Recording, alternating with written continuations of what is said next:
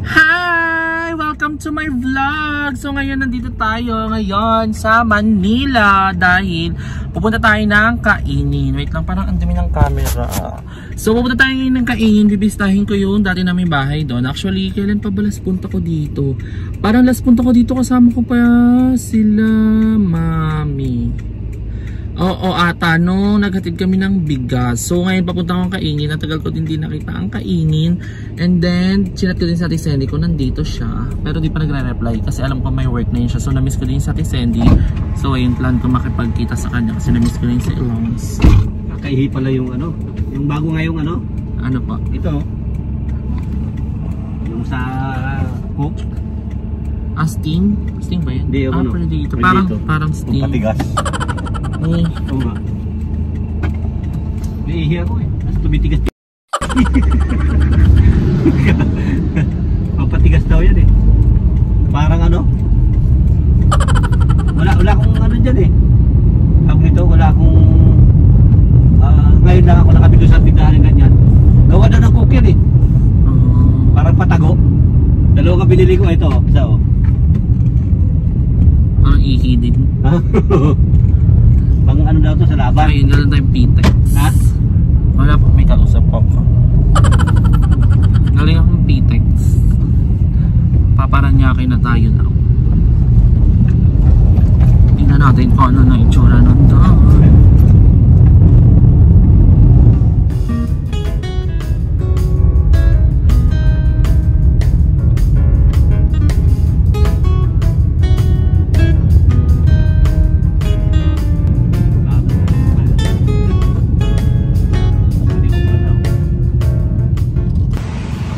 So ayan, nandito na tayo sa kainin at ito ang dating Allegro kung saan ito yung pinipin namin lagi. So ayan, ginawa na siyang parkingan. Tapos, ayan, as usual, madami pa din truck na nadaan. And then, fairness size na yung daan ata. Doon sa laging sila-sila. Tapos ayan yung classic na simbahan. So ayan. Madami pa din tricycle dito, nagka-tricycle.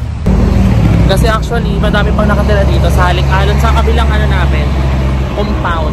May ano pa, halik-alon. Yun na lang hindi na-demolish. Pero yung kainin, ang alam ko natitira na lang na bahay doon. Bahay namin ni Jeko, ni, Ay, ni Aye, tsaka bahay nila Kuya Lloyd. Sino pa ba?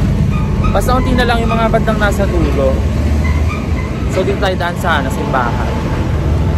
Para bongga na makita natin kung ano pa yung mga, sino pa yung mga nakatira dito. Kasi nakakamiss din here. Alam nyo ba guys, minsan na nakakamiss din talaga dito. Lalo na yung mga ganap namin. Kasi dito, oh, super saya pa namin. Wala pang problema kung saan kami talaga nakilala dahil din kay Kuya Lloyd. So ayun, nakakamiss sobra. Magre-relapse ka na lang talaga. Alam, laki nung trakayo. So ayan, pati mga nakatira pa din pala dito sa dulo. Ayan sila. Ganda naman na ang ganda na Andito ka pala, te. Madami pang nakatira pala dito. Pero ito wala na. Ang tanong, sino kaya ang nandito sa kainin? Hi, te. Hi. How are ya? Okay lang. Dito kaya sa Sandy. Ito bahay nila Aye. Sino kaya nakatira dyan? Ito ang aming house. At may aso. Wait lang, baka kagatin tayo. Ito yung bahay namin. So, ayan. Hindi ko alam sino nakatira dito kalagi. Kapatid niya ata. Tapos dito guys, ito yung dati namin binibila ng mga appliances pag may mga bigla ang kailangan. Tsaka yan, dalawa dalawa sila si Iglesia Iglesia kasi sila guys ayan dito ang on the go mini ano namin national bookstore tapos ayun doon kalati sen di mamaya punta tayo doon may inantay lang ako dito sa bahay. Di ako makapasok. Actually nakatira dito sa amin nangungupahan pa si Ate Mabel kilala niyo yun. Kasi doon makapasok dahil may aso. Ay tingnan natin kung nandito si Jello ay sarado. Sarado kala Jello sa Ate Sandy, hindi ko alam kung nasaan. Kasi alam ko may work yon. So, di din siya nag-reply sa chat ko. Baka nasa work nga. Pero antayin na lang natin yung dito sa bahay. Papasok tayo doon. Dahil makikicharge din ako. And then dun sa dulo wala na talaga. Nakita nyo na yung sa vlog dati dun sa BNT. Nagpunong pumunta kami dito. Ang pangit ko guys, pagpasensya nyo na. Ang pangit ko. Wala akong ligo. Umalis kasi ako agad. ang pangit ko. Tapos after din ito, uwi na ako ng Cavite. So, ayun. Wala nang tao dito. Sobrang bagot dito paggabi guys. Legit. Tapos yung mga bata dito sa amin dati. Yung mga asin yung maliliit. Ang lalaki na. Halos kasi laki ko na, ang lalaki na, yung mga babae, dating liliit lang nun. Ngayon, napakalaki na pati yung mga batang lalaki ngayon. Mga natuli na kasi, oy. So, ayun, nakakagulat. Magugulat kang iba grade 9 na, grade 10 na. Ang bilis ng panahon. Parang dati kinukotong-kotongan lang siya. Hindi ko kotongan. So, syempre, ang classic na airport dito. Ang mga aeroplano, pag nagbablog, naririnig nyo. So, may nagpapatugtog kasi naglalabas sila. Hi guys, so nandito ngayon sa bahay namin. Nakakamiss dito. Pero may nangungupahan kasi. Kaya ayun. Ito ang ating dating balcony. Nagbablog tayo dito dati. Napakainit kasi ito yung kwarto natin. Actually, aircon namin dito na luma. Ayun, nandyan pa din siya. Di pa namin nag-get kasi wala din kami paglalagyan pa. Pero baka nga ibenta na lang din namin kasi di ayaw naman nila mama mag-aircon. Yung aircon namin doon di masyado nagagamit kasi bukod sa laging wala din ako doon dahil nga syempre nag-stay din ako sa BNT house. So wala masyadong gumagamit ng aircon unless yung parang init na init lang sila mama tuwing hapon. Doon lang nakakapag-aircon. Pero yung aircon na yung lagi talagang nagagamit, hindi. Kasi bukod sa mahal na ang kuryente, ayan, hindi naman din nasanay si mama sa ganyan. So ayun. Hindi ko pa sure kung ano mangyayari pero soon pag i-demolish na next year kasi katsikahan ko yung nag-rent dito sa amin. Kapit bahay namin. Sa Timabel guys, kilala niyo yung for sure. Ayun ang classic na aeroplano. So ayun nakausap nga na chikahan lang kami saglit kasi naka-charge din ako. Next year pa nga daw kami madi-demolish. So baka kami ang pinaka last batch nakakaloka kasi iba lang ano daw dito. Naka 70% na. So ayun. Ang nakita ka na kanina nakita ko si Jake. Hindi ako nakapag-vlog kasi pumasok ako dito. Tsaka may ginagawa siya. So update ko kayo. Pauwi na din ako. Update ko kayo later pag pauwi na tayo ng Cavite. So guys, nakauwi na ako at nakaligo na ako kasi sabi ko nga kanina, di ba, hindi ako naligo nung umalis ako. So, this is my bare face. So, nakauwi na ako and may gusto kayo pakita sa inyo guys. Kasi si mama, alam niyo ba, simula February ba? February or this March, last March lang, is nag-start siyang mag-zumba-zumba. So, nakaraan, nag-request yun sa akin magpabili ng shoes. Pero yung mumurahin lang yung pinabili niya. So, nagpabili siya sa akin ng shoes. Dalawa ata yun. Pero binili siya, pinabili ko. Binigyan ko na siya ng budget. Then, na gusto niya daw kasi mag-zumba. So, may mga friends kasi siya dito na nag-zumba din. So, sinama siya. At least may pinagkakabalan si mama. May time na nag-zumba siya ng morning, like 6 a.m. Minsan naman is 6 p.m. So ngayon may zumba siya and ngayon kasi naligo siya and pinakita niya sa akin yung outfit niya. Tinanong niya ako kung okay lang daw ba yung suot niya. So gusto ko siyang ipakita sa inyo kasi ang cute ni Mama. So di ko pa siya actually nakikita mag-zumba pero sayang kung dyan sila mag-zumba sa court, pwede ko sana ipapakita sa inyo. Kaso dun sila sa labas ng village namin mag so hindi ko siya mapapakita sa inyo. So tingnan natin at tanungin natin si Mama kung anong eksena niya pag nagzuzumba siya. Ang ganda ko guys. Charing. Mom, where are you? What are you wearing? Bakit naman naka Lloyd Coffee Cadena shirt ka? Punta ko sa Sumba. Ili purple ang uniform namin. Wala akong purple. Ito na lang sinusuot ko para makita. Ah, may uniform kayo, may color coding kayo. So, color ko ano violet. At ito ang outfit niya. So, naka Lloyd Coffee Cadena shirt siya. Tapos, short. Ano yan? Leggings ba yan? Yes. Tapos, sapatos. Magkano yung sapatos mo? 156 Taray, may butal pang sa isa. Saan mo binili yan? sa online. So, online na pala binili. So, Ito, kailan ka pa ba nag-start mag-zumba? mga magto 2 months lang. Noong February pa ba? Mm. Ah, paano yung mga sayo nyo doon? Sample. Sample, sample, sample. Oh, patumingin ka doon. Eh, any kind of music naman. Ah, paano nga? Ano yung paano yung mga sinasabi nyo lalo? Halimbawa, yung... Yung selos. Ano serious? Ano Yung kada yung sa tuwing nakikita kang may kasama. Ah, di ang... Yung, ah, sample muna ng sayaw. One, two, three, go! Anong kanta yan? Yung ano, yung kay... Maricel Baby Shark? Kasi ba't titignan mo dun? Kasama mo? Tapos yung ganun. Pinagpapawisan ka naman. Oo naman. Na-enjoy mo?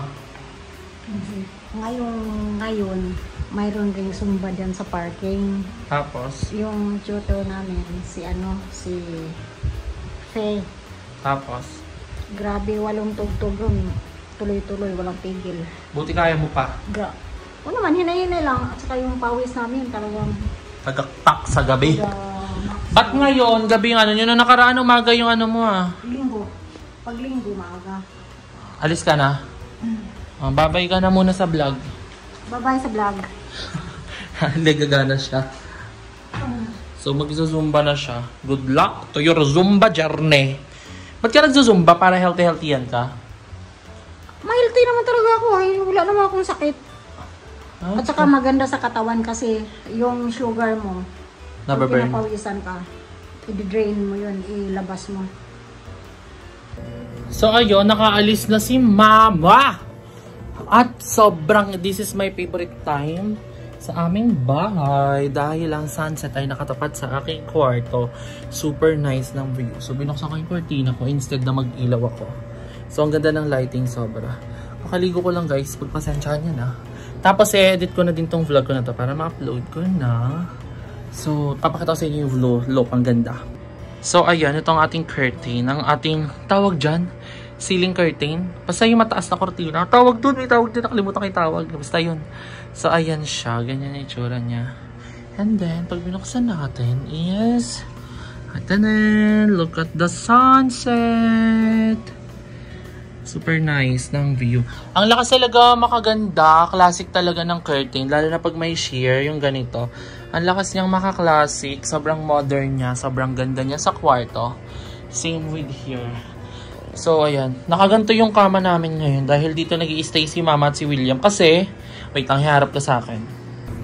Kasi alam niyo, ay, hindi siya maharangan na.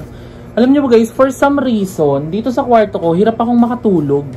Hindi ko alam kung bakit. Tapos dun sa kwarto nila mama, nakakatulog ako ng... Actually, hindi ko alam. Pero, dun sa kwarto ni mama, nakakatulog ako. Kaso nga lang, ang problem ko guys, ang aga ko pa din nagigising. For example, matutulog ako ng 4 a.m. Magigising pa din ako ng 6 a.m., 7 a.m. Tapos feeling ko no, nung feeling ko na nung mahaba tulog ko. Pagtingin ko ng oras ko, 6 pa lang, 7 a.m. pa lang, naiinis ako. Pero dahil siguro sa mga isip, iniisip na lang din yun. So, ganun ang eksena ko. Pero dito naman sa kwarto na to, hindi talaga ako, alam mo yung inaantok ka na. As in yung, alam mong inaantok ka na. Feel mo nang inaantok ka. Pero, pag kahit pinilit mong matulog, hindi ka pa din nakakatulog. Parang nakapit ka lang. Ganun. Pero, gising pa din yung diwa mo. May mga nakaka-relate ba sa akin? Hindi ko siya ma-explain, pero ganun siya. Yung parang may nangyayari pa din sa mundo mo kahit nakapit ka na na dapat tulog ka naman na kasi inaantok ka nga. Ganun yung eksena ko. So, ayun. Kaya sabi ko kay mama, kasi parang, di ba matagal na ako nag-stay dito sa bahay. Di pa ako nakawin dun sa BNT house. So, gusto na ni mama makipagpalit sa akin kasi sa kwarto niya malamig doon. Sabi ko sa kanya, ano, tawag dito? Doon muna ako sa kwarto niya kasi nakakatulog ako doon ng kahit papano. Unlike dito sa kwarto ko na to. So, ayun. Hindi ko alam ba't ako na mas nakakatulog doon. Pero nahanap ko yung comfort, ko doon sa kwarto na yun. Kaya, nakipagpalit muna ako ng higaan. Pero actually, mas maganda yung... Hindi ko alam, basta doon muna ako. Eh, ayaw din ako paalisin muna ni mama kasi sabi, sabi niya sa akin. Sabi ko, sabi niya, alis ka na ba daw? Ipabalik na ba daw ako sa BNT house? Sabi ko, gusto mo na ba akong paalisin? Gusto mo na ba akong pabalikin doon? Sabi niya, hindi pa, syempre. So, nagstay muna ako dito kasi since yung mga bakla din is magta-Thailand. So, ayun. Nagpa-post din pala ako sa YouTube ko ng Q&A. Baka next vlog ko na lang yon Or basta, sasagutin natin yung mga question nyo doon, yung mga interesting. So, ayun. In next vlog na lang natin yon Pero, ayun. Yun lang naman yung update sa akin today. And, mag edit muna ako ng vlog. Tapos, manonood din muna ako ng sunset. While nagpapatugtog na aking mga favorite song. And, ang dami din nagre-request sa inyo na nag-live ako na ilagay ko yung playlist ko ng Spotify kaso naiyak ko baka ma-judge yung personality ko. Na kung malalaman niyo yung personality ko puro senti song yung mga pinapatugtog ko. Pero let me know in the comment section if you want. Share ko din. Tatatry ko ipapublic kasi ililink ko na lang sa description or sa ililink ko sa comment section. Ipipin ko na lang. So pero gusto ko muna malaman kung gusto niyo. Kasi baka mamaya hindi naman kayo interesado pero ayun. So mag-edit muna ako ng vlog guys. Samahan niyo ako. Alam niyo ba guys ang dilim na. Pero, alam nyo ba guys, gusto ko magdagat ng gabi. Tatry ko yon Tapos iba-vlog ko, promise. Sa ngayon, Hindi ko pa alam kung when yun, pero isa yun sa mga plans ko. Ang sarap-sarap magdagat. Nakakapagdagat ako ng gabi. Kasama ko yung mga friends ko, pero hindi ko nabablog. Pero, ano, one of these days, ibablog ko yon pag nagdagat ako. Promise. Ang sarap lang, umupo, marinig mo yung alon, tapos nakatingin ka sa moon, mag-muni-muni, mag-reflect, ganon. So, ayun, bablog ko yun. Kasi for sure, yung iba, ano tawag dito, one din may experience yung ganon. Tapos kausap mo lang yung kaibigan mo, yung pinaka-trusted friend mo, ganon. Kwento mo yung mga pinagdadaanan mo, happenings in life mo, ganon. So, ayun yung mga next plan ko. Maganda, ganun na lang yung mga iba-vlog ko, guys. Yung mga ano natin. Tapos, nagpa-plan, gusto ko din mag-ilo, ganon na more nature, ganon. Iba-vlog ko na nga lahat ng ganap ko, promise, para meron tayong lagi upload. Tapos, ayun yung isa sa mga plan ko. Gusto ko mag-ilog. Kasi madaming ilog na maganda dito sa, ano guys, sa Cavite. Meron sa may Batangas, meron sa Ternate, sa Naik, sa Indang, meron din sa Amadeo. So, ayun, madami. Madaming choices. So, let us see. Update ko kayo guys, promise. Pag nag-vlog ako, pa-vlog ko yun. Pag nag-ano tayo. Sa ngayon, i-edit ko lang muna yung vlog natin. Pero, ayun. Suggest kayo guys na mga alam yung falls or ilog na maganda dito sa Cavite and then ta-try kong pupuntahan, promise. Papakita ko sa inyo. So, i-update ko na lang kayo guys. Mag-edit lang